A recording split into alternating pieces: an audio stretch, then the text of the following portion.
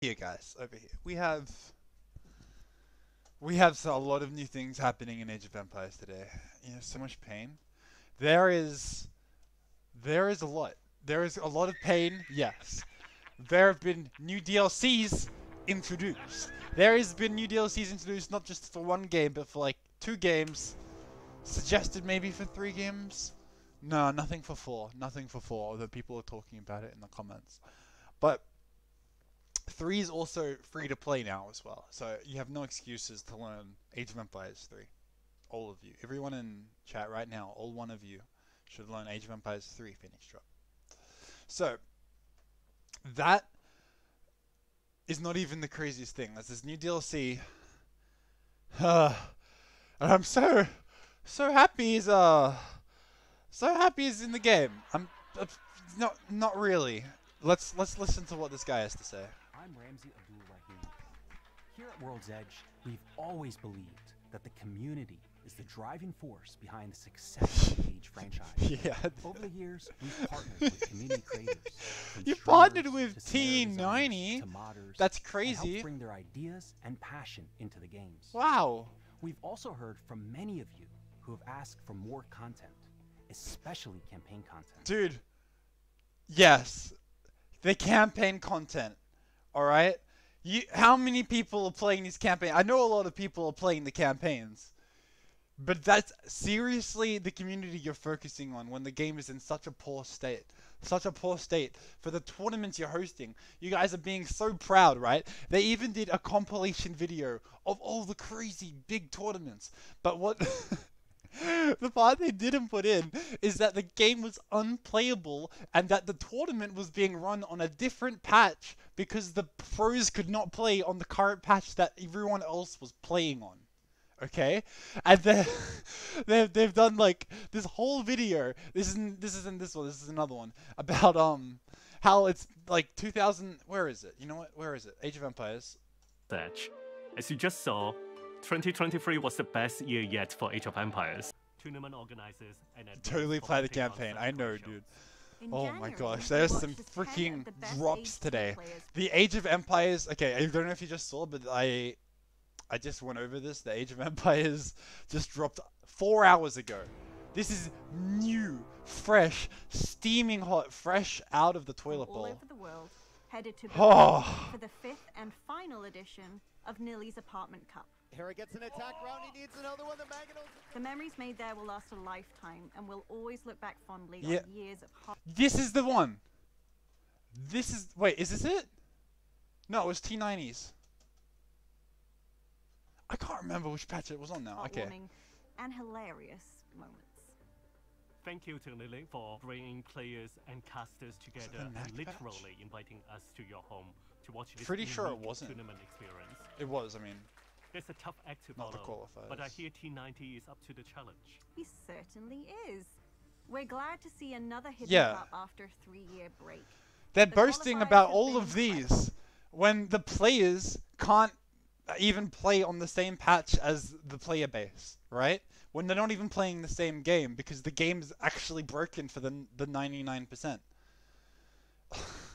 they're boasting about literally 16 players being able to have a playable game. Out of how many people who have bought the game? How many people have bought the game? Oh, great, 16 people can play. That's what they want to talk about? It's amazing. It, it truly is. Like, it's like all the pros, Viper, Hera, everybody is talked about. T90 even has talked about how unplayable the pathing is. All right, this has been a really known thing in our community for a long time, and for the Age devs to come out with this, they don't mention it. All right, they're not even mentioning it. They're not even mentioning the pain of the majority of even not even like the 99%, the 100%, because these guys have to play on this patch whenever they're not doing a fancy tournament. They get a special fixed patch for.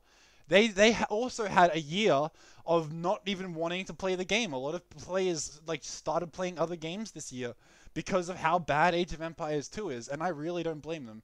They fixed the archers. Forget yeah, now After how long? And now they're releasing this, boasting about their great accomplishments last year? They did nothing last year. The game got worse. The game, undisputably, every professional player. Um, this is not even me talking. All right, this is like the biggest voices that I know in Age of Empires in the Age of Empires community have said this that the the pathing has gotten significantly worse last year.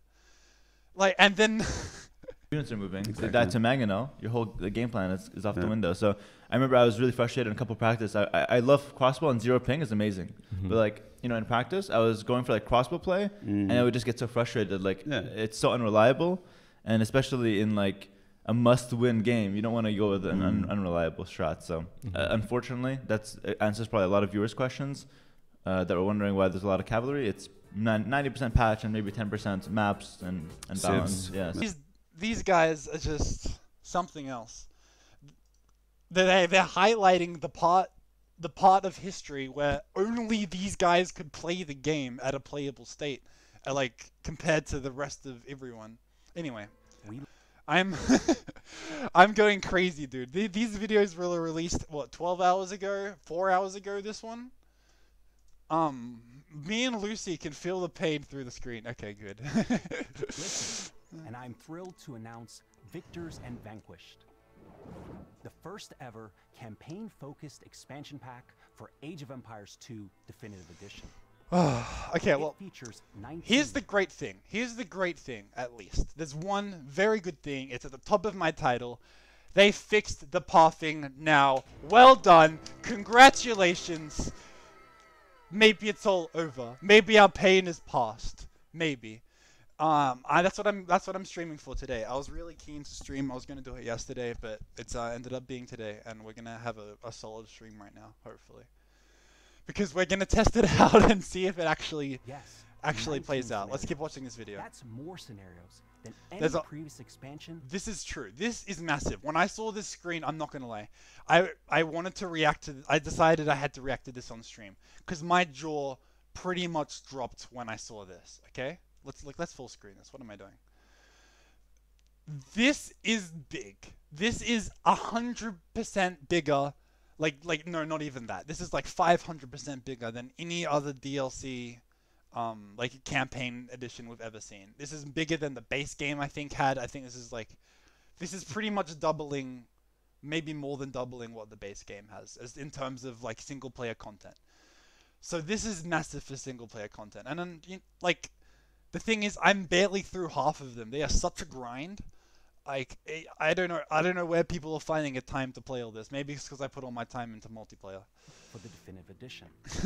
but more than that, I'd like to say Victors and Vanquished is a labor of love.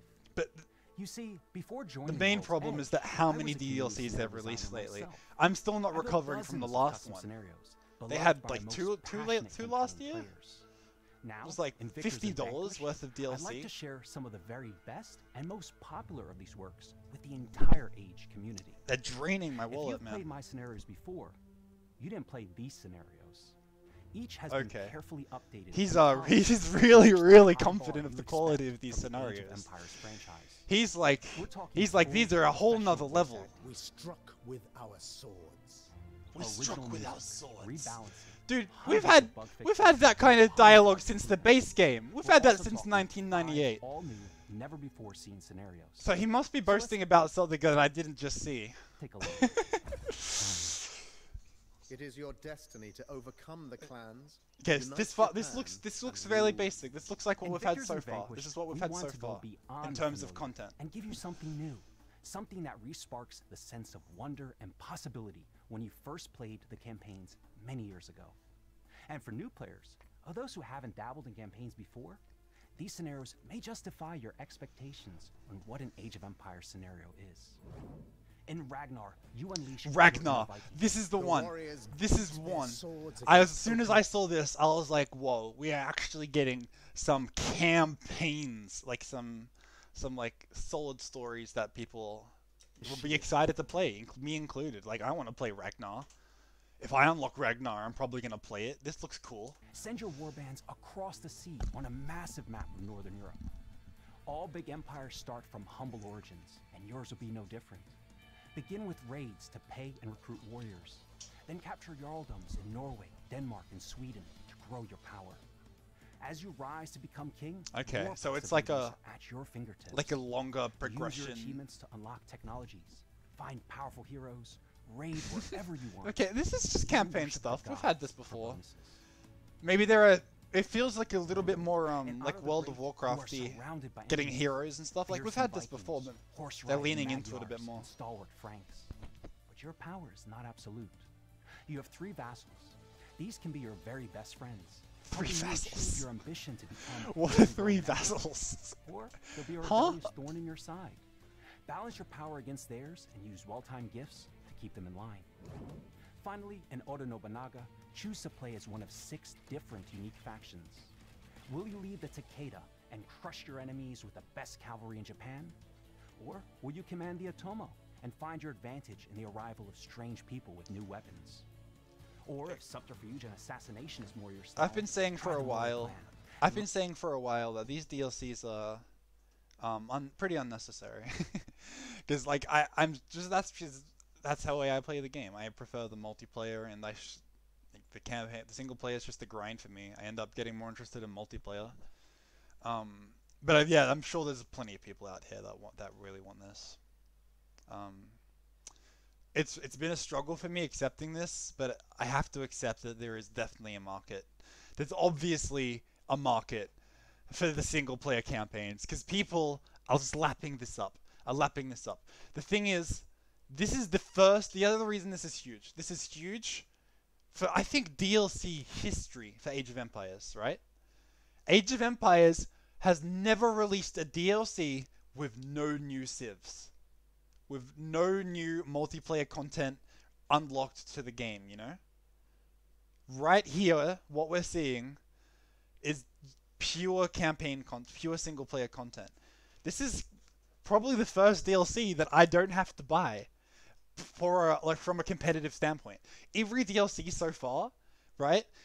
From a competitive standpoint, you eventually are going to have to get that that civilization because you're unlocking things in the game that are your com- your competitors, the people you're playing against, will have access to, right?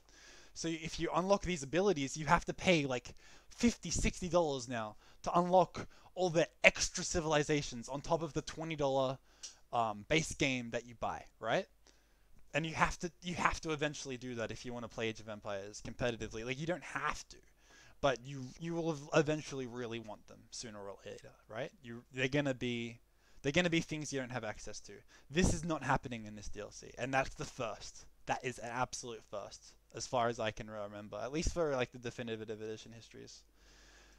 Leverage your criminal network to recruit unsavory characters. In Victor's What? Investigation, you tell They're using such interesting examples. Like I've seen, there's so many very impressive campaigns. I think the problem with this is that third-party campaigns are amazing. There's some really, really pretty, really well done, th- like um, like mod shop, free to download, free to play games that you can like just get, from the base game, right? You can go to the online, download things that other people have made, and then have this amazing like campaign. This is kind of thing that they're releasing here. Um, these, a lot of these have probably already been done by uh, like third-party people, right? They're doing their own version. That's great, but a lot of these or like their equivalents have already been made. There's so much content that is free to play already. You don't even need to buy this. There's so much. Even if I did all the campaigns right now, I could go out and get like twice that much content for free that I would enjoy. Just like made by other fans, right? Made by other fans, put out there for free. So like this is sure this is great for people who enjoy enjoy the campaigns and also great for achievement hunters too, which I'm not in Age of Empires yet. But like it's it's not necessary to buy and I love that. It's especially not necessarily um something any competitive player has to buy or will, will unlock a multiplayer multiplayer option. So I am really happy about that.